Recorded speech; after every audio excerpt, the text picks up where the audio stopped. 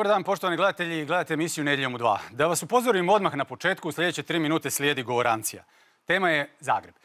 Veliki gradonačelnici trebali bi imati viziju razvoja Zagreba u sljedećih 10 do 20 godina. To nisu niti priče o krpanju prometnica, boja kanti za smeće i slično.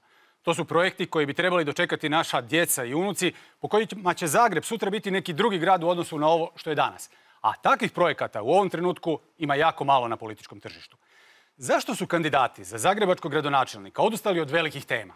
Pa Zagreb ima proračun od 14 milijardi kuna. Je li to možda strah od velikih obećanja koja neće moći izvršiti? Je li to nedostatak vizije ili možda budući gradonačelnici sebe doživljavaju kao komunalne redare i ništa više?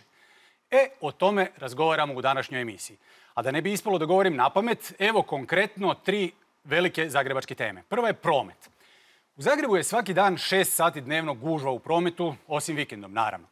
20 godina radim ovu emisiju, ista pitanja o zagrebačkoj prometnoj gužvi postavljam svojim gostima i iste odgovore dobivam.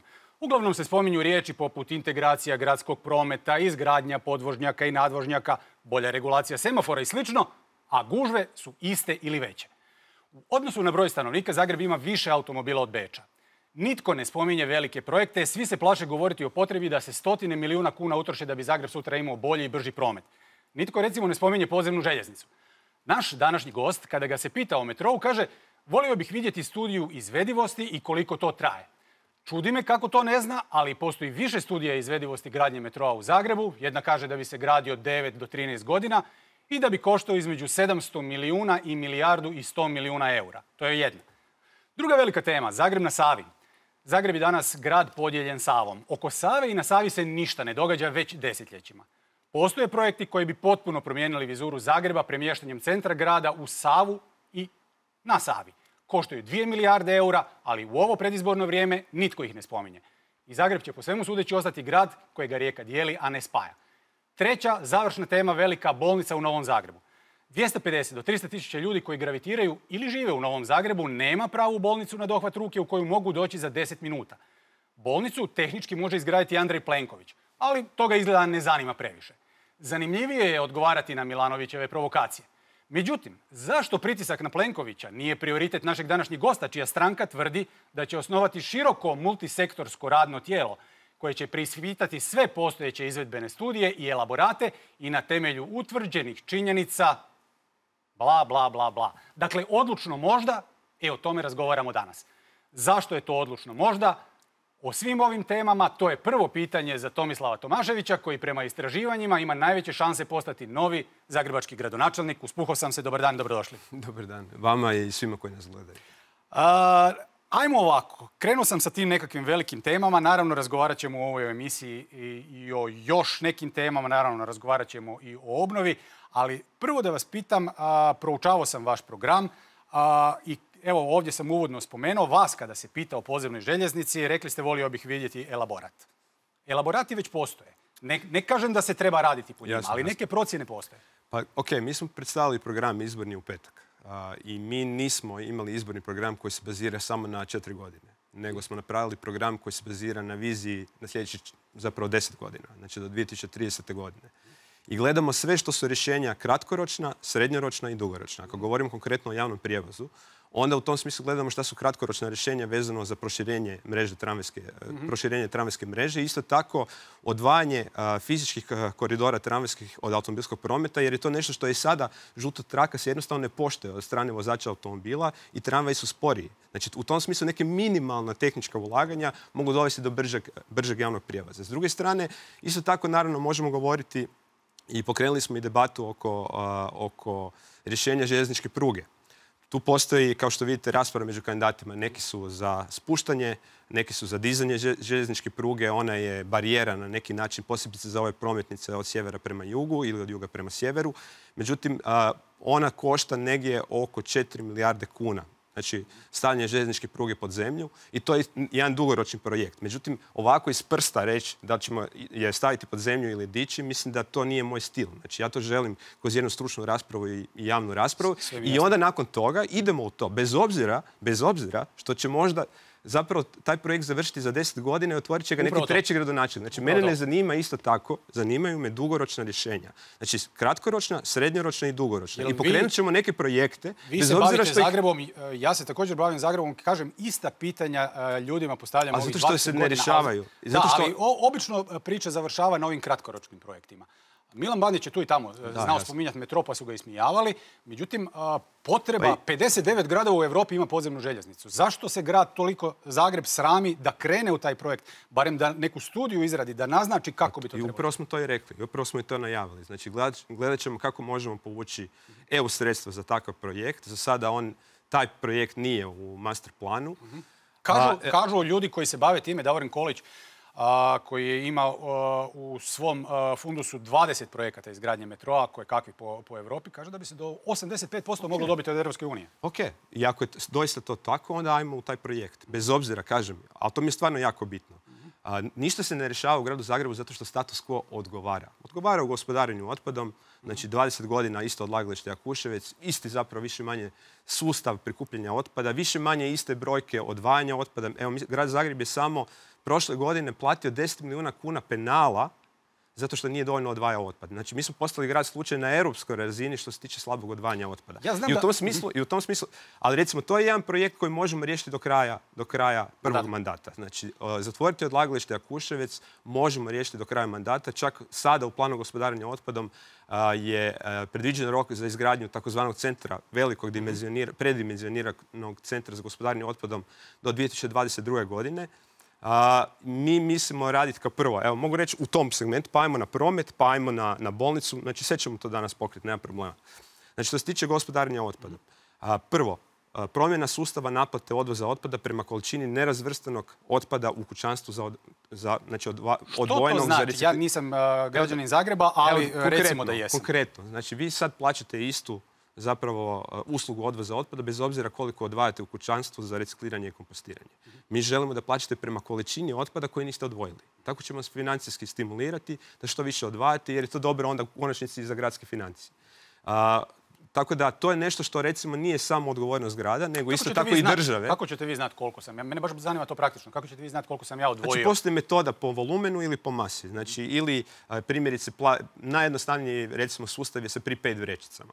Znači, možete odložiti miješani komunalni otpad samo u vrećice koje su službene vrećice, možete ih kupiti primjerice na kioscima u trgovinama, ali one koštaju. Ono. I sad ne znam, recimo 25 litara košta primjerice a, 10 kuna. I u tom smislu koliko ćete vi, jer smijete samo u tim odložiti vrećicama, koliko ćete htjeti imati puno miješanog komunalnog otpada i malo odvajati za recikliranje i kompostiranje, toliko ćete više plaćati. To je najjednostavnije. I sad postoje naravno i kante sa vagama gdje se onda po masi to važe. Postoje i podzemni spremnici e, sa, sa bar kodovima i karticama poput u Ljubljani. Znači postoje različite tehnologije od jeftinijih do skupljih. Ali u svakom slučaju svi gradovi u Europi idu prema naplati odvoza otpada prema količini. A, znam, To je- da to je, govorite znači, ono o čemu, e, znam da govorite ono o čemu mislite e, da, da, ste, da ste najbolje potkovani, da tako kažem. Međutim, e, vraćam se ipak na pitanje prometa. Ajmo, Ali mogu, mogu sam završiti otpad. ajde, pa se otpad pa ćemo... Znači, to je, to je prvi stupanj. Drugi stupanj je isto tako uh, kvartovski centri za ponovnu uporabu, tako da bi manje nastalo otpada. Znači, da se što više primjerice namještaj i tako dalje popravlja, da nastaje manje glomaznog otpada. Treće su sortirnice. Mi imamo sad toliko kanti, jer su posebne kante za papir, posebne su kante zapravo, odnosno sustav skupljanja za plastiku, za metal. Mi želimo napraviti kartonske sortirnice tako da imate malo kanti gdje stavljate sve suhe reciklante, a onda ih se u sortirnici odvoji. Tako da onda će manje zauzeti javne površine ili ovih zajedničkih prostora u zgradama. Mi želimo isto tako, ono što ćemo napraviti jest da ćemo revidirati postojeće lokacije u prostornom planu za taj veliki centar za gospodarenje otpadom. Mi mislimo da on tako velik ne treba, nego da nam treba jedan manji centar za reciklažu, za onaj miješani komunalni otpad koji se ipak nije odvojio u kućanstvima. I tu ćemo, to će biti jedni- jedno postrojenje sa mehaničkim postupcima koje izdvaja iz mješovitog komunalnog otpada i dalje neke vrijedne sirovine u određenom postotku. Biološkim procesima se ostatak obradi, postane inertan, potpuno neopasan i s time ćemo sanirati konačno odlagalište Jakuševac. Znači do kraja prvog mandata. To je znači situacija sa otpadom. Ajmo Dobro. sad na promet. E, ajmo na promet, samo mi završite ovu priču. Ja znam da to vama nije prioritet, ali volio bih čuti ovdje odgovor u emisiji. Što s podzemnom željeznicom? A, koliko je to a, moguće u vašem mandatu realizirati početak gradnje kao, kao neki ozbiljni Ne, projekt ili to potpuno nerealno? Početak gradnje se može. Početak gradnje se može u smislu da se, da se naprave studije izvodljivosti, da se prijavi novac za EU. To je nešto, bilo kakvo ulaganje u javni prijevoz i jesu nešto što bi mogli povući novac iz EU sredstava. Inače, evo čisto kao informacija, Z je do sada povukao samo 200 milijuna samo 200 milijuna kuna EU novca, to je kat- katastrofalno malo. Ovo- ovo drugo- I, međutim, ovo kad drugo završimo pitanje- sve studije, javnu stručnu raspravu, tu se može početi gradnja u, fa- u prvoj nekoj fazi do kraja prvog mandata. Ali ovo što sam i dalje rekao i dalje stojim kod toga. Jasno. Želimo rješavati stvari i dugoročno, bez obzira što će možda na kraju podzemnu željeznicu otvoriti neki treći ili četvrti Jasno, gradonačelnik nakon dočekati možda čak ne ni naša djeca, ali ja se ipak nadam naša djeca. Mislim, ali možda takvi su, takvih je dosta problema. Pa mislim, u ostalom obnova Zagreba, pa neće to trajati samo jedan mandat. A ono što sam spomenuo ovdje uvodno, to je Zagreb na Savi. O tom projektu se apsolutno ne razmišlja, niti kod vas. Gledao sam vaš izborni Mislim, program. Zagreb, sad ovisi šta mislite. Ako mislite na onaj zagrebački projekt grada Zagreba, Zagreb na Savi. Ne, ne, ne, ne kao onaj kulturnu manifestaciju, ne, ne, ne, ne, ne. Bilo je Zagreb na Savi se zvao projekt koji je bio kulturna manifestacija na Mislim Savi. na onaj projekt koji je Radimir Čačić još gurao. Ali samo hoću ovo do kraja reći, koji je koštao 12 milijuna kuna za 12 posjetitelja. Ne, ne, to, ne. Mi vidimo, isto kao i arhitekti, kao struka, Znači, prostor u Savu prije svega kao jedan rekreativni koridor koji je uređen, gdje imate različite kulturne sadržaje, različite manifestacije, koji živi, koji spaja zapravo. Sad ništa ne živi. Koji sad ne živi zato što je neuređen i zato što se A što, zapravo... koji, kako, bi to, kako bi to izgledalo?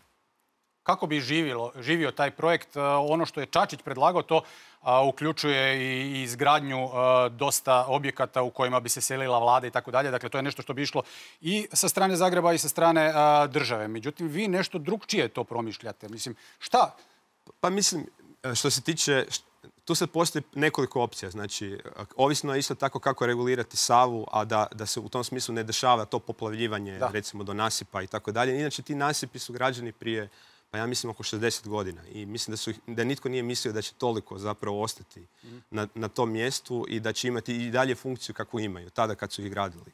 A, tako da u tom smislu postoje sad i neke opcije oko e, dovršetka tog odvodnog kanala koji bi onda na neki način otvorio i taj prostor u Savu zapravo i da, Dobro, ali- da ali- nema nasipe, ali i sada ovakav kakav je.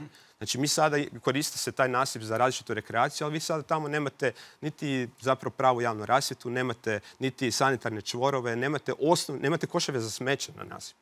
A kamoli nekakva sportska igrališta u Savu, kamoli nekakve kulturne manifestacije, pa makar privremene kulturne manifestacije, makar u ljeto, recimo. Znači, A dobro, to će tom vam se na ono Bandićevo svesti isto. Ne, neće se To svesti ipak na mora ono- biti nekakav Pa dobro, zahtjevniji projekt. pa to, ali svešće se na Bandićevo ako se projektira sve iz glave gradonačelnika. Ne, Što ja ne, bi kažem trebalo. da bi trebalo, ali vi kažete da je u vašem programu, a, oprostite, sad moram malo zaoštriti, da je vaš program radilo 200 ljudi. Nema nikakvog, ja sam gledao taj program, nema nikakvog plana oko Save i uz, uz Savu što ćete raditi. Ne, ima, Možda je to ima. vama nevažno. Ne, ne, ne, ja nisi, to dobro, dobro gledao. A I- recite mi onda, koji je to Ima program? u, znači, u, programu je 18 poglavlja i u poglavlju a, vezano za zeleni plan za oporavak imate baš vezano u Savu uređenje Save kao rekreativnog koridora, zaštićenog područja prirode, plus sportskih sadržaja i terena, plus kulturnih sadržaja. To je tamo, bez brige. Dobro, znači, I to je u skladu sa nekim, znači zeleni pojas u Savu. vi mislite da će sportski sadržaj nema- povezati Zagreb u znači, principu? Samo da kažem, znači po meni je prednost uh, upravo Zagreba što ima takav zeleni koridor uz rijeku. I on ga treba razvijati tako da ga ljudi koriste. A ne, a ne, ga ne- a ne- a ne- a ne na njega, ne na njega izgraditi nekakve nebodere od, ne znam, nekoliko desetka katova kao što to bio plan sa Zagrebačkim Nijedan ste- grad u Europi svoje zelene površine uz rijeku ne, ne izgrađuje nebodere. Zašto u ste svoje tako drugo zemljište birokratski e, raspoloženi spram e, jednog objekta koji se e, također na tom koridoru nalazi, a to je bolnica u Novom Zagrebu. A, zašto, čak sam vas i citirao, kažete a, učit ćete na pogreškama drugih i osnovat ćete široko multisektorsko ne, zato što tijelo, ne želimo, bla, se- bla, bla. znači zato što postoje Vi ne gradite bolnicu, da se naš- razumijem. Znači, stojimo iza svog programa 100%. U tom smislu, žel, znači, naš program je i oprezan u tom smislu, jer želimo polagati račune građanima i za godinu dana, i za dvije godine, i za tri godine, i za četiri godine. I doista, kad smo radili na tom, a, na tom segmentu zdravstva, A, znači, mi sigurno ćemo izgraditi i ići ćemo u toj jedne bolnice u Novom Zagrebu. Ona je nužno potrebna. To vi ne možete kao grad izgraditi, to gradi država. Ok, u partnerstvu sa državom. Da. U partnerstvu sa državom. Pa imamo bolnice koje su gradske bolnice, imamo i bolnice koje su državne bolnice u gradu Zagrebu. Ali ono što je nužno, nužno je radi ravnomjernog pristupa ovoj sekundarnoj zdravstvenoj zaštiti jest da bude barem jedna bolnica u Novom Zagrebu. To nije bitno samo zato što je to fair prema stanovnicima Novog Zagreba, to je i sigurnosno pitanje. Znači, od desetak mostova u gradu Zagrebu samo su vam a, novi a, Jankomirski most i Domovinski most, znači skroz na zapadu i skroz na istoku grada, zapravo projektirani prema najnovijim protupotresnim standardima. Znači, ako bude, ne daj Bože, neki jači potres, mi imamo i sigurnosti problem, jer ne znamo šta će biti zapravo sa mostom Slobode, šta će biti sa mostom Mladosti, šta će biti sa, sa, sa Jadranskim mostom, a, I u tom smislu je to i sigurnosno pitanje i evakuacijskih koridora i uopće dostupnosti prvih zdravstvenih ustanova kao što su bolnice. Neovisno o tome Tako hoćete da li vi... ono što smo mi, nakon kad smo krenuli u, tu, u, u, u razredu te ideje, je da smo doista naišli na podijeljenu struku oko toga da li se u blatu može iskoristiti Mhm. postojeće postojeći, ajmo reći, temelji i kapaciteti i ono Da, što se jasno. tamo gradilo sa sveučilišnom bolnicom, da se to iskoristi za gradnju nove bolnice u Novom Zagrebu ili je ipak jeftinije i bolje ići na novu lokaciju. I to je nešto gdje je doista toliko podijeljena struka. Bilo je e, nekoliko studija, ali nijedna nije bila neovisna studija, da jednostavno ni- nismo htjeli razriješiti to pitanje u samom izbornom programu i reći da, evo, bit će u Blatu. Ali sigurno će biti u Novom Zagrebu. Ono što vas e, želim pitati, e, zašto kao saborski zastupnik, odnosno vaš klub, ne vrši pritisak na aktualnu vlast da se po tom pitanju nešto napravi? Oni, su- kako ne vršio? Pa Oni su, oni su, ako se ne varam, već u zadnjih 4-5 godina to spominjali kao prioritet, dječje bolnice i tako dalje, da, međutim, ništa se do danas nije Pa dogodilo. ne, pa naravno da vršimo pritisak. Pa vršili smo pritisak, evo, a, konkretno i oko dječje bolnice, pa i u Gradskoj skupštini, i u Hrvatskom saboru. I isto tako općenito oko zdravstvenog sustava i veledrogerija, pa evo sad ovih dana gdje se premijer pravi da nema nikakvih problema, da nema nikakvih problema sa isporukom lijekova. Oko, onkološki pacijenti a, su obavješteni od svojih liječnika da ne mogu dobiti lijekove. Ravnatelji bolnica poput Zabočke bolnice kažu da im je obustavljena isporuka lijekova.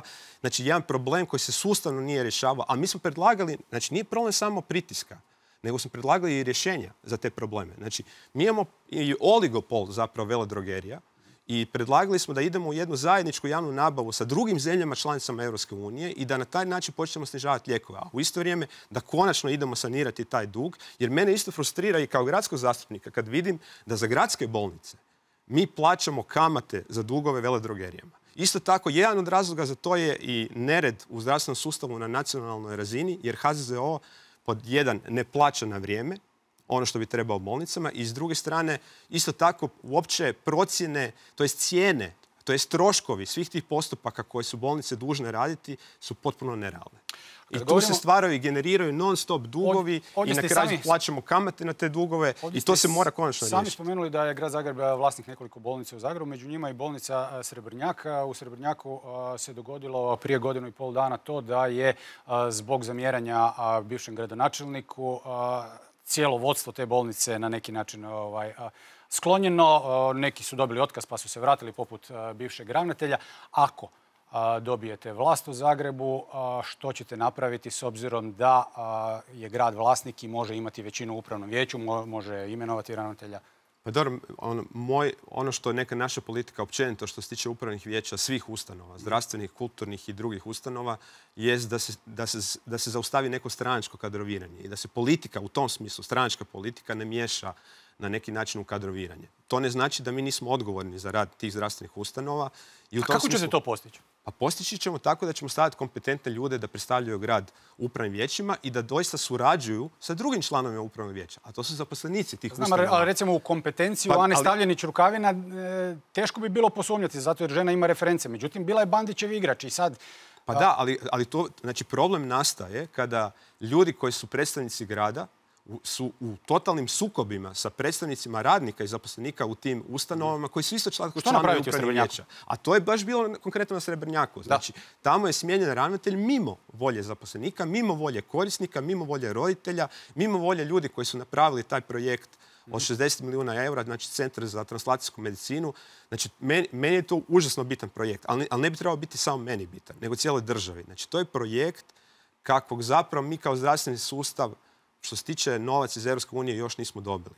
i ne smijemo ga zeznuti. Dobili smo novac, ako zeznemo ovaj projekt, više takav projekt nećemo dobiti. Znači, takav projekt u ovoj regiji što se tiče translacijske medicine ne postoji. Dobro, ali ako se ne varam, Andrej Plenković je digao ruke od tog projekta, odnosno njegov ministar zdravlja. Pa ne bi se baš složio skoro. Mislim, ministar zdravlja očito se nije bavio time, ali, ali ipak je došlo do jedne, ja bih rekao, konstruktivne situacije na zadnjoj sjednici Gradske skupštine. Tamo je došla, došla zapravo jedna točka vezana za taj projekt 5 do 12 po hitnom postupku na zadnju sjednicu Skupštine bez ikakve rasprave na odborima gdje se zapravo po meni htjelo izigrati grad Zagreb iz upravljanja kao jednog od partnera u tom projektu i, i ono što je dobro da se dogodilo jest da čini mi se da je bila intervencija ministarstva, odnosno vlade, jer je na kraju HDZ vršio pritisak na, mm. na mhm. Jelnu Pavičić Vukićević da, taj, da tu točku povuče sa dnevnog reda. Ja se moram ispraviti, bivši ministar zdravstva, ako se ne varam, bio je potpuno A bivši ministar zdravstva je govorio, govorio da neće svaka bolnica na svakom brdu imati svoj projekt. Ja sam ga više puta javno prozvao zbog takvih riječi. To je potpuno obezvređivanje e, rada. Dobro, što bi onda trebalo po vama biti ako osvojite znači, vlast u bolnici Srebrnjaka? Znači, pa, doći će do, do normalnih odnosa ako treba i do druge uprave i do, do zapravo svih ovih... E, znači, mi, ne, mi, mi ne možemo dopustiti ove neke frakcijske borbe i svađe nego moramo staviti sve ljude koji su radili na tom projektu na, na, na okup. A, zapravo isto tako iskoristiti sve kapacitete koje imamo u toj specifičnoj grani medicine u Hrvatskoj, u Hrvatskoj i zajedno sa državom naći način da taj projekt se provede do kraja. Jer kažem, posljedice neće biti samo za grad Zagreb, bit će za cijelu državu. Ako osvojite vlast, mnogi od vas očekuju revoluciju, daćete otkaz svima koje je Bandić zaposlio preko reda, izmislio im radno mjesto. Vi to nećete učiniti. Pa ajmo ovako. Znači, s jedne strane me napadaju da će biti sjeća glava, s druge strane me napadaju da neće biti ništa. Mhm. Niti je točno jedno, niti je točno drugo. Znači, mislim, što se tiče nezakonitih zapošljavanja, tu neće biti nikakve tolerancije. Znači, svako nezakonito zapošljavanje koje je bilo, a bilo ih je, vidimo, čitamo to u optužnici Agram, tu neće biti tolerancije, posebice kad je riječ o ljudima koji rade u gradskoj upravi, znači tu vrijedi poseban zakon o javnim službenicima i tu nema tu ne, neće biti nikakvog toleriranja što se tiče mene i naše gradske uprave. Isto tako, što se tiče situacije da bilo u gradskim poduzećima, bilo u gradskoj upravi, neki ljudi, a to je činjenica, to je činjenica, ja to znam. Da. Neki ljudi niti ne dolaze na posao, to isto tako nećemo tolerirati i tu to je kršenje radne obaveze i tu nikakav kolektivni ugovor ne pomaže takvim zaposlenicima. S treće strane, ljudi koji su zaposleni e, na radna mjesta koja, zapravo koja su izmišljena. E šta s njima? Njih ćemo, njih ćemo prebaciti na radna mjesta koja su potrebna. to I, mislite da je moguće to? Da, i ima toliko posla u I tekako je moguće. I tekako je moguće. I bit će posla, posebice kada ove neke štetne ugovore, evo mogu govoriti konkretno, kad neke štetne ugovore sa privatnim poduzećima koji su ono, koji su, rade velike troškove gradu Zagrebu, revidiramo, zaustavimo. Koje, koji su to ugovori? Pa evo, primjerice gospodarenje otpadom. Znači, mi, mi samo na ambalažni otpad, mi samo na ambalažni otpad u dvije godine ćemo isplatiti 100 milijuna kuna za nešto što bi moglo raditi gradsko poduzeće čistoće. A u isto vrijeme zapošljavamo u čistoći. Jel se ti ugovori mogu razvrgnuti bez penala? Zato kažem termin revizija ugovora. Govorimo o Petru Pripuzu i njegovom poduzeću. Da, jasno mi je. Zato kažem revizija ugovora. Mene zanima da vidimo svaki taj ugovor. Da li ne mogu se razvrgnuti bez penala. međutim, mene zanima da vidimo da li je štetnije nastaviti sa tim mhm. ugovorima ili platiti penale. U ovom trenutku to ne znate? U, ovom trenutku to ne mogu znati. S druge strane, ono što isto tako želimo vidjeti jesu svi, sve okolnosti kako su ti ugovori sklopljeni. Jer ako je tu bilo nekakvih nepravilnosti, onda to daje temelj i za jednostrani raskid ugovora od strane grada Zagreba bez financijskih posljedica za grad Zagreb. Ja ću tu biti itekako odgovoran i neću sigurno raskidati ugovore samo zato, nego ću uvijek gledati šta je financijska šteta za grad Zagreb kratkoročno. Međutim, ako ćemo i nastaviti te ugovore realizirati do kraja, ono što ću odmah raditi jest gledati, ok, ako već moramo odraditi ugovor do kraja u sljedeće dvije godine, kako da onda u te dvije godine iskoristim, da onda primjerice gradsko poduzeće radi primjerice prikupljanje i odvajanje ambalažnog otpada ili, druge, ili, ili, ili glomaznog otpada. Ili s druge strane, umjesto da plaćamo basoslovne cifre za održavanje javne rasvjete, a to je nešto što bi moglo raditi gradsko poduzeće, radi ga primjerice u Rijeci, radi ga u Beću s kojim se stalno želimo uspoređivati, da onda iskoristim to vrijeme dok traje taj ugovor, da pripremimo kapacitete gradskog poduzeća da radi to što je zapravo, zapravo prirodni monopol. Dobro, Ili kažete- je privatni monopol ili je javni monopol. Kažete i sami da ne možete dijeliti otkaze šakom i kapom, ali što možete? A, I ono što je Uz bitno, pretpostavku da postanete gradonačelnik. Ured gradonačelnika ima 285 zaposlenih. Koliko će imati vaš kabinet ako postanete gradonačelnik? Puno manje, ali ne samo taj ured, nego će biti puno manje ureda. Znači, Stručna služba ima 190 ljudi. Kako to da vi već sada ne raspolažete nekim okvirnim brojkama? Ne, što ćete napraviti s tim? Raspolažem, ali ono što morate isto tako znati je da gradska skupština je ta koja će morati izglasati novi preustroj gradske Dobro, uprave. recite nam koliko bi bilo optimalno po vama da vaš kabinet ima ljudi, a ne, a ne 285 koliko ima sada. Po ovoj, po ovoj nekoj a, procjeni sa, i sistematizaciji koju smo radili za nekakvih 15 a, gradskih ureda, pošto će neke stvari još biti dodane u zapravo ured gradonačelnika, negdje između 50 i 100. Znači i dalje, i dalje je tri puta manje. Jel, jel populizam kad Vesna Ali- kaže da, bi ona imala 20 ljudi? A je, mislim, zato što mislim da ni ne znam šta tamo sve, znači što se tiče pravnog zastupanja i tako dalje, šta to sve ti ljudi rade. Ali daću primjer. Imaće manje ljudi u uredu gradonačelnika, a onda svi pravnici i adminis- i administrativci koji tamo jesu, će ići u ured za obnovu koji ćemo osnovati, tako da umjesto da ljudi idu po šalterima i prikupljaju dokumentaciju za obnovu, to će raditi mobilni timovi pravnika i administrativaca koji će ići u podsljemenska naselja sami i koji će ići po donjogradskim blokovima sami tim ljudima i prikupljati dokumentaciju od njih, gledati, skenirati stanje na terenu, da razumiju sve komplicirane imovinsko-pravne odnose svake od tih zgrada, jer to je isto tako jedan od najvećih problema u obnovi i da zapravo ono što je isto bitno, da na kraju grad Zagreb predfinancira projektnu dokumentaciju svim tim ljudima, tako da točno znaju da imaju tri modela po zakonu o obnovi, da toliko i toliko košta projekt obnove, da toliko i toliko moraju sufinancirati, toliko i toliko će grad sufinancirati, toliko i toliko će država i da samo kažu da ili ne. To ćemo sve odraditi za njih kao Kad grad Zagreb. govorimo Znači tamo će ih biti manje, ovdje će ih, ali zato ćemo ih prebaciti u Kad gradski ured govorimo o obnovi, najveći dio posla je na državi. E sad, koliko grad tu može ovaj, potaknuti državu da brže radi, jer većina stanovnika donjeg grada koji su pogođeni potresom su nezadovoljni a, činjenicom da se više manje ovaj, ništa nije napravilo. Dakle, koliko grad tu može objektivno nešto napraviti? Pa evo, to, nadam se da ste pratili te pritiske u, u Saboru što se tiče našeg saborskog kluba koji je od početka nezadovoljan i tempom i dinamikom i ono što je najbitnije financijama. U proračunu za ovu godinu, ponovit ću još jednom, je odvojeno 240 milijuna kuna za obnovu privatnih zgrada u Zagrebu nakon potresa. To je otprilike 1% potrebnog iznosa. Ako premijer kaže da će to trati barem 10 godina, ovim tempom, će trati 100 godina. I mi smo i kod izglasavanja proračuna upozoravali na to, protestirali oko toga, ništa se nije dogodilo. Ono što su nam tada rekli je bilo da ovisno koliko će biti zahtjeva, radit će se rebalans u ovoj godini proračuna i onda će se taj, taj iznos povećati. Znači mi ćemo i dalje kroz saborski klub a, vršiti pritisak na vladu i kroz to što je grad Zagreb jedan od članova upravnog vijeća fonda za obnovu. Međutim, osim toga, nećemo se samo, nećemo, ne- ja ne želim prebacivati samo odgovornost na državu i reći, evo, država nije dala novac, država je katastrofalna sa ministarstvom graditeljstva, evo, otvorili su a, centar za informiranje tek godinu dana nakon potresa i šta mi tu možemo? Ne.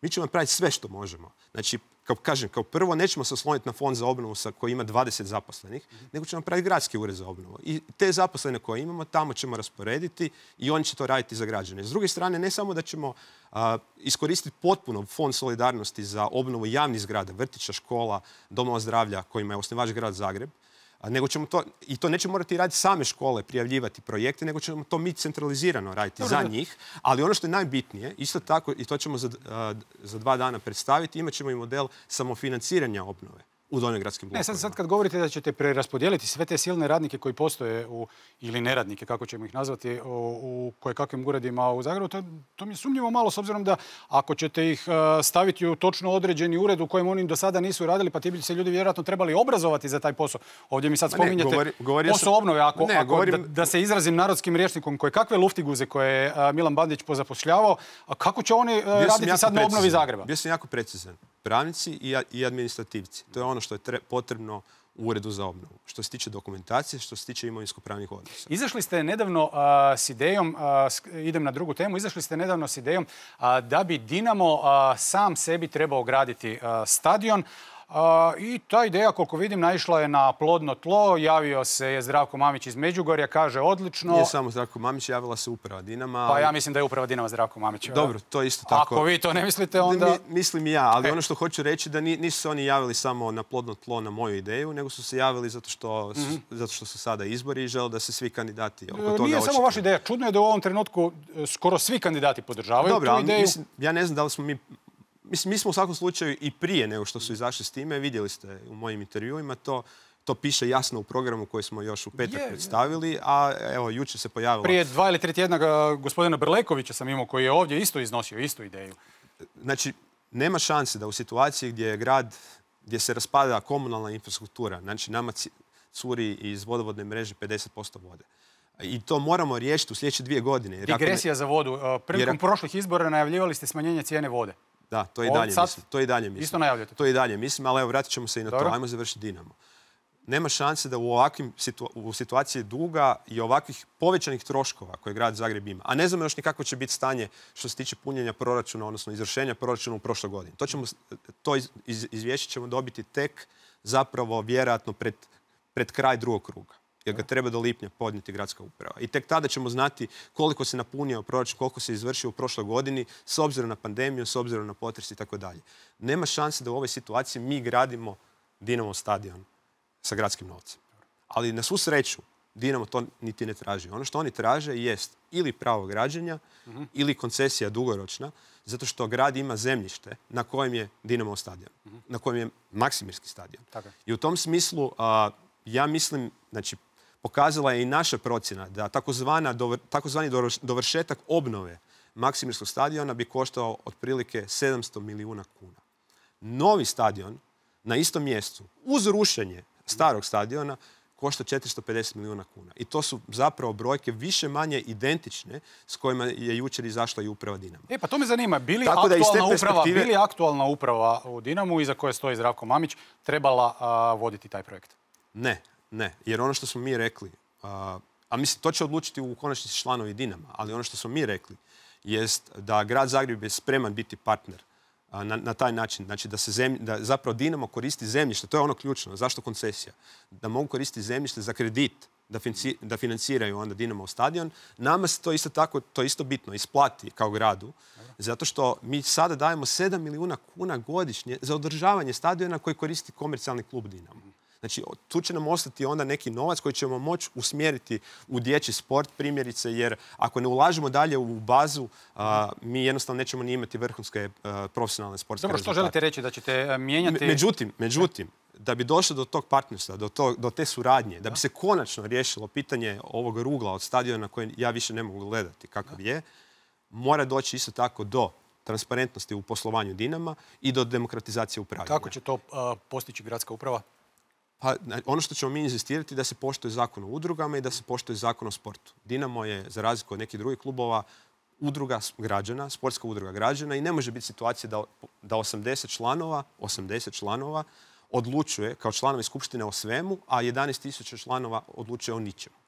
Ako može, ako može takav model biti, evo, jučer je bio El Clasico, eh, Real Barcelona. I opet super, super, eh, super, tekma i Luke Modrića. Znači i Real i Barcelona imaju socios model, to je model jedan član, jedan glas. Znači u Barceloni 170 tisuća članova bira upravu nogometnog kluba. Ako može to biti u, u Španjolskoj, u Bundesligi, znači u Njemačkoj, svi klubovi Bundeslige imaju takav model. Još jedna, može i u Još jedna sitnica oko stadiona. Zašto stadion u centru grada? Dakle, tamo sad je stadion. To je isto tako Međutim, ne bi li bilo bolje kao sve infrastrukturne velike objekte e, izmještati na rub grada, lakše je doći do njih, lakše je otići iz njih, nego stvarati gužu u centru grada? To je legitimno pitanje i doista neki stadioni, pa evo i Allianz Arena, su mhm. izvan gradova na neki način. Međutim, ipak ono, postoji nekakvo i povijesni sentiment vezano za igranje Dinama u Maksimiru. Ja isto tako mislim da, da je bolje na istom mjestu zapravo, znači srušiti ovaj i izgraditi novi, da se može riješiti i... Dobro, ali vi niste stručnjak. To ne kažu oni koji se bave prometom. Gdje bi naravno, bilo najbolje da bude ali, ali, ali, gledali smo već studije iza, iza parkina mjesta. Mislim, to su, to su vršna opterećenja jedino kad su utakmice zapravo, tako da u tom smislu to je obično navečer, kao što znamo, tako da to ne ulazi u nekakve prometne gužve koje su svakodnevne u radnom danu, tako da mislim da, da se to da, mislim, kažem, legitimno je pitanje i zašto ne bi bilo izvan grada, ali naš stav je ipak da ostane na istom mjestu. Ako postanete gradonačelnik, plaća u Saboru ili gradonačelnička, vaša sadašnja saborska plaća je oko 16.000 kuna, Milan Bandić je imao oko 18, ne znam baš da li se to može preslikati, ali uglavnom je veća. Koju plaću uzimate? ne, nema tu, nema tu izbora. Zato što prema zakonu o lokalnoj samoupravi svi župani i gradonačelnik Zagreba, jer je Zagreb ima status zapravo kao županija, ne, mogu biti, ne mogu biti saborski zastupnici. Tako da ja svakako dajem svoj mandat u mirovanje i uzimam onda gradonačelničku plaću, kako god ona bila. Evo, iskreno nisam ni gledao kako Ako postanete Čak mislim da je gradonačelnička plaća i manja i od plaće pročelnika. Ko će vas mijenjati u, Saboru?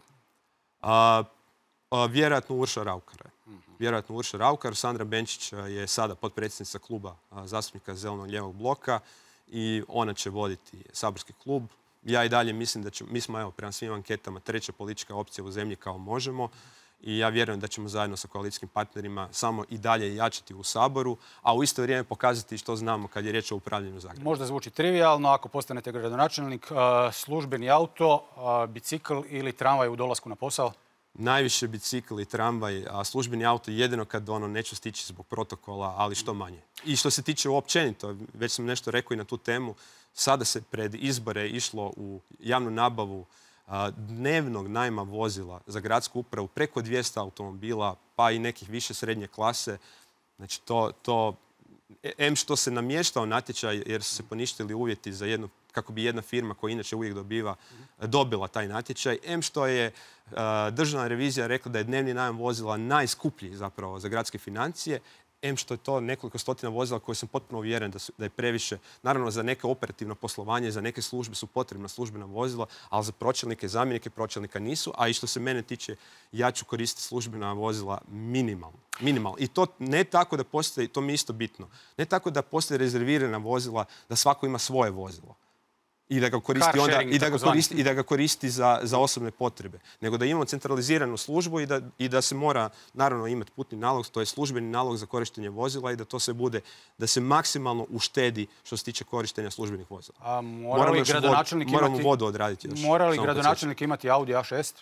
Ne mora, naravno. Mislim, ja imam isto polovni auto, uopće ne patimo takve stvari i kažem, dapače, a, mi ćemo zapravo motivirati svu, sve zaposlenike u gradu i u gradskoj upravi i u gradskim poduzećima da što više koriste javni prijevoz. Dobro, ali ako, ako on dođe gradonačelnik, gradonačelnica Barcelone ili gradonačelnik Berlina pa ili neko slično, onda ga ipak trebate doći u pa nekom reprezentativnom pa autu. Ako, mi dođe, ako mi dođe gradonačelnica Barcelone, budući da, da nju dosta dobro poznajem i da pa će da mi je, i razgovarao sam s njom i, na neki način mi je politički uzor, ona sigurno to neće zamjeriti jer i ona isto se ponaša kao ja.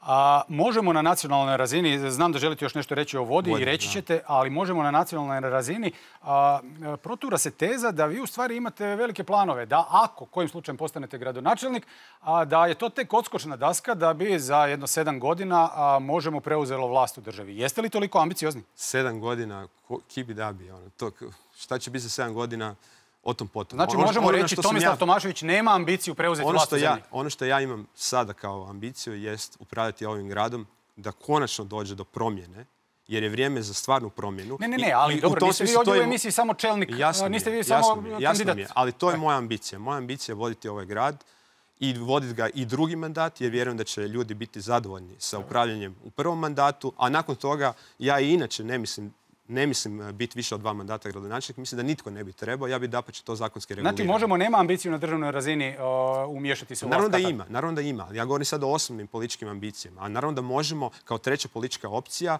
želi na izborima koji će biti za tri godine, ako ne budu prije vremeni, ostvariti puno bolji rezultat nego što smo ga ostvarili kao najveće iznenađenje parlamentarnih izbora prošle godine i naravno sudjelovati u vlasti i na nacionalnoj razini. I reći ću još jednu stvar. Kad smo predstavljali u petak izborni program, rekli smo jednu stvar. Želimo promijeniti Zagreb da bi promijenili Hrvatsku. Sudjeluje li Emil Tedeski na bilo koji način u vašoj predizbornoj kampanji s bilo kakvim oblikom pomoći? Apsolutno nikako. Ne? Apsolutno nikako. I uopće te teze koje Most pasira, nek potkrijepi ih jednim dokazom. A sudjeluje li neko od većih poduzetnika u donacijama vaše strance? Koliko će koštati kampanja?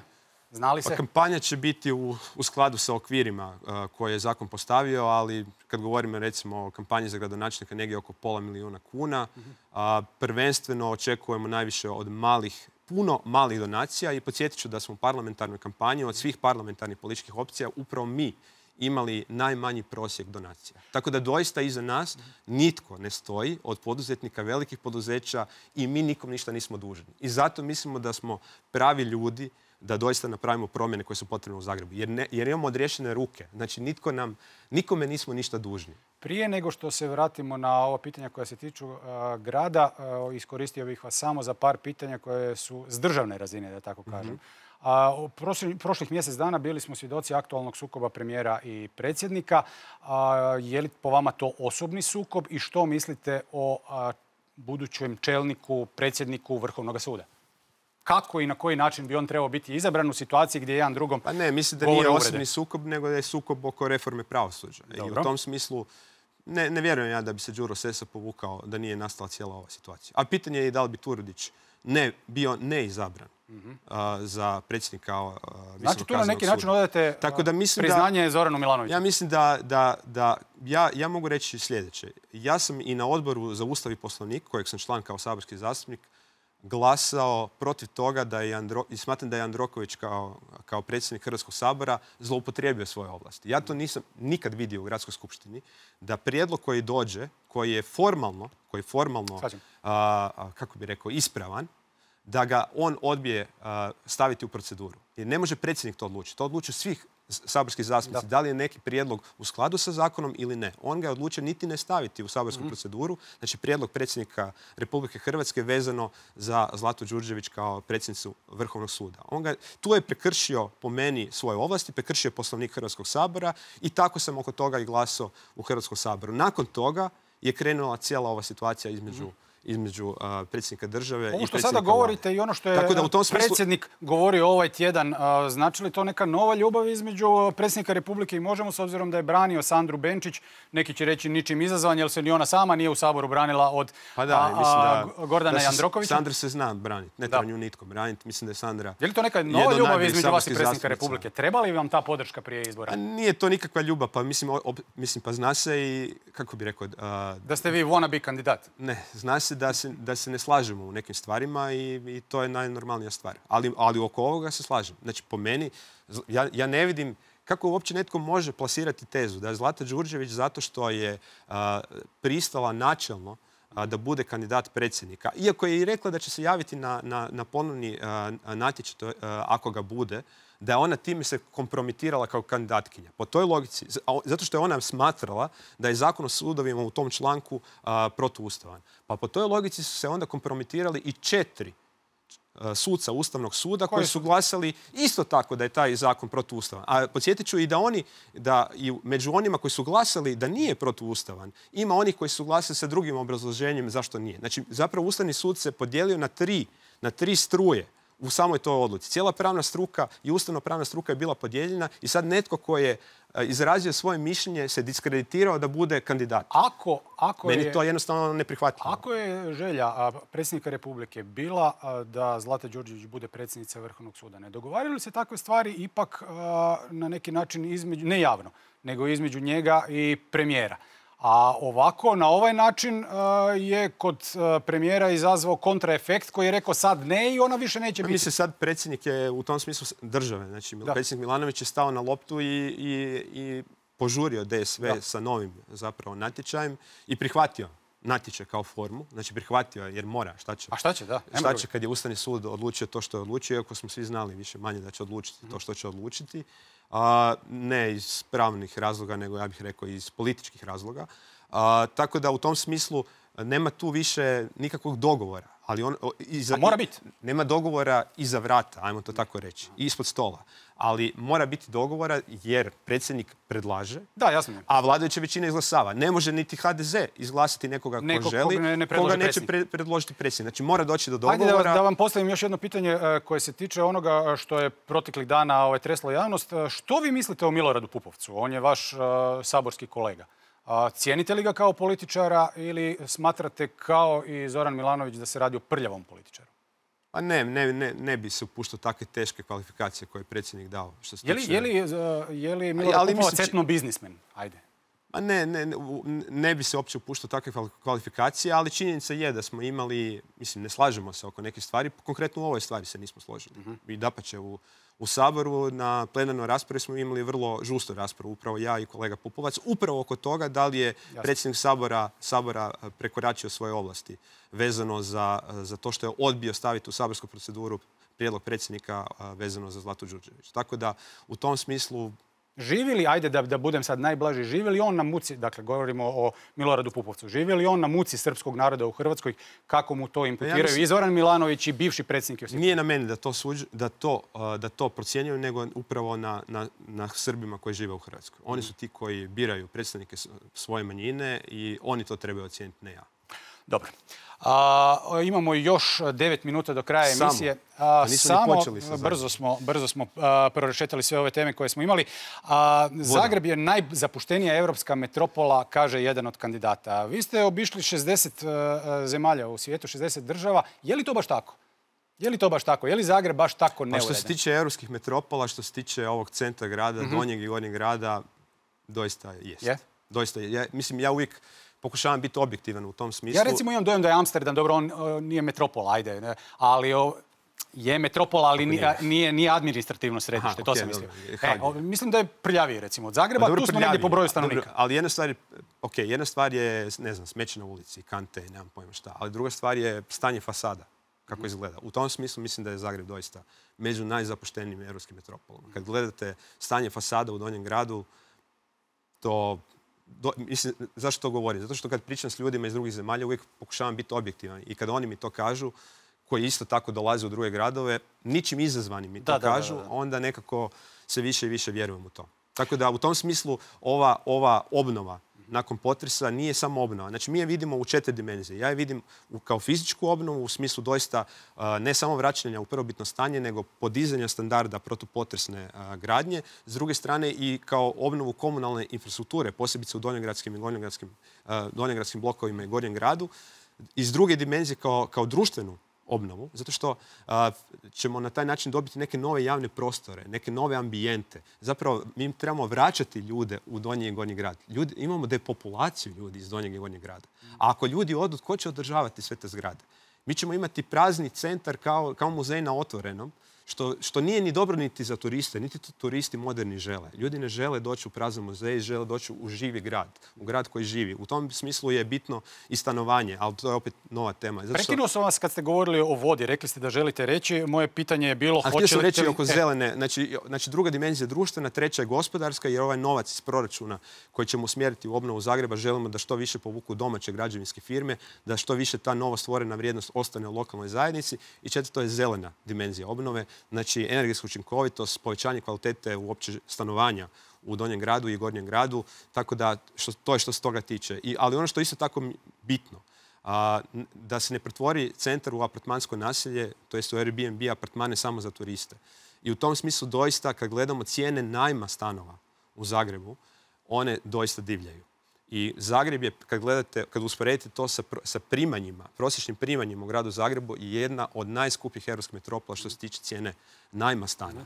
I u tom smislu ćemo isto tako, mi u Zagrebu imamo samo 2% a, javnih stanova za najam, a jedan Beč ima 60%. Ja sam bio, evo, nedavno sam bio u Cirihu, oni imaju 25% a, neprofitnih stanova za najam i čak e, 40 tisuća stambenih zadruga. Mi imamo samo 2% u gradu Zagrebu javnih stanova za najam i u tom smislu ćemo isto tako napraviti investicijske zapravo projekte koji će taj broj povećati. Znači ne samo ne graditi stanove za prodaju, javne, nego graditi javne stanove za najam. Tu dobijamo i dodatne prihode od stanarina, opet refinanciramo ulaganje u novu izgradnju javnih stanova za najam, ali ne na način da ih Vi znate, u geta ja vas pretvaramo to i sada neću pitati, ali vi znate da sljedeći put kad dođete bilo kod Da Stankovića... ćete pitati šta sam napravio od toga. Ne, upravo što ste napravili i koji Ali- je to projekt, ko ga gradi, u kojem roku i Znam, koliko košta. i spreman sam na to i zato sam i rekao, stojim apsolutno iza programa koji je ne samo radilo 200 stručnjaka, posjetit ću, 10 tisuća građana je ispunilo anketu i definiralo probleme u svojim kvartovima i kako ih riješiti. Nije to samo 18 područja. Mi smo objavili program za svih 17 gradskih četvrti. Vrlo detaljan. Pogledajte ga na web stranici. ja ne znam ni jednu političku opciju, ne samo sad na ovim izborima, nego uopće u Zagrebu koja je napravila program sa 10.000 ljudi. Kako smo napravili taj program, tako ćemo i upravljati Je vam važno da kažete, sa građanima. je li vam važno da kažete uh, koliko ćete smanjiti uh, cijenu vode uh, ako uspijete dobiti vlast u Zagrebu? Bitno mi je, znači što se tiče vodoopskrbe, znači prva stvar je proširenje mreže javno, javne vodovodne jer i dalje imamo ljude čak i među ovim naseljima koje su stradile u potresu koje nemaju i dalje javnu vodoopskrbu a što je ono katastrofa za glavni grad 21. stoljeća. S druge strane, saniranje ovih gubitaka 50%, mi, kažem, mi ćemo za nekoliko godina zbog europskih direktiva plaćati stotine milijuna kuna penala ako nećemo smanjiti ove gubitke vode u vodovodnoj mreži sa 50%, barem na nekih 30%. Mi tu gubimo jako puno novaca za, na, na troškove električne energije, jer pumpamo vodu u cijevima koja curi van. Dobro. A, ali ono što će mi biti ključno da bi došlo i do smanjenja cijene vode, to je revizija ugovora o pročistaču otpadnih vode sa dvije privatne tvrtke. I kažem opet revizija, zato što, kao što znate, bilo je i uhićenja direktora tog poduzeća zbog različitih zlouporaba, tako da ćemo vidjeti isto šta tu možemo napraviti, a posebice imajući na umu da je državna revizija još 2012. godine utvrdila da je taj ugovor štetan za Zagreb. Kada da bi građani omogućuje- Zagreba po vama mogli onda očekivati manju cijenu vode? Pa, U sljedećem... a, u sljedećem mandatu, ajmo reći, Da. do kraja prvog mandata. Ali isto tako, ali isto tako ono što ćemo i dalje ulagati jesu i javne česme što se tiče javnih Hoćete li, prostora. evo sad e, ispričavam se što vas prekidam, e, kažete e, ulagat ću, hoćete li pomagati Bosni i Hercegovini kako je to Milan Bandić radio u prošle četiri godine milijun i dvjesto tisuća kuna za župe? Ne, na taj BiH. način definitivno ne. Iako mislim da grad Zagreb što se tiče Hrvatske treba biti solidaran sa drugim, sa drugim dijelovima Hrvatske jer ipak, pazite, to moraju svi znati. Ja mislim da je nevjerojatno malo napravljeno u zadnjih 20 godina u Zagrebu imajući na umu da je proračun grada Zagreba veći od svih gradova u Hrvatskoj zajedno. Dobro, šta I da iz te perspektive, dođe vam Zagreb... svećenik iz Žepča i kaže Ne, što trebalo se, bi... tiče, što se tiče župa i a, financiranja crkve, mislim da to ni- nije mi prioritet da, da, to, da to radim sa gradskim novcem u drugim dijelovima Hrvatske ili u drugim zemljama. Što će vam reći na to vaš stric, monsignor Ivo Tomašević iz Pa Sarajeva? ne znam što će reći, ali, ali to je moj politički stav i njega se mislim držati. A, premijera Andreja Plenkovića na prošlom aktualnom satu a, na neki način ste htjeli dovesti u neugodnu situaciju tvrdnjom da ako se u Google ukuca Andrej Plenković nisam znao, dobije se, koliko ste rekli, 100, 125 tisuća. 125 tisuća rezultata. Ja sam se malo poigrao. A, ovako, kaže, e, Plenković meni je dao 145 tisuća. Zato što se povećalo, jer, jer sad ja izlažem Vjerojatno. sa svojom izjavom. Vjerojatno. Međutim, Zoran Milanović kad se ukuca dobije se 245 Pa tisuća. Dobro, on je duže bio ovaj.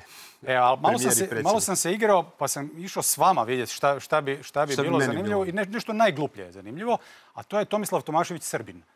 A, to je najviše rezultata koje sam ja uspio naći. Soroš slabo. A koliko- koliko je izašlo? 145 tisuća rezultata Tomislav Tomašević Srbin. Ne deklariram se ko Srbin, tako da...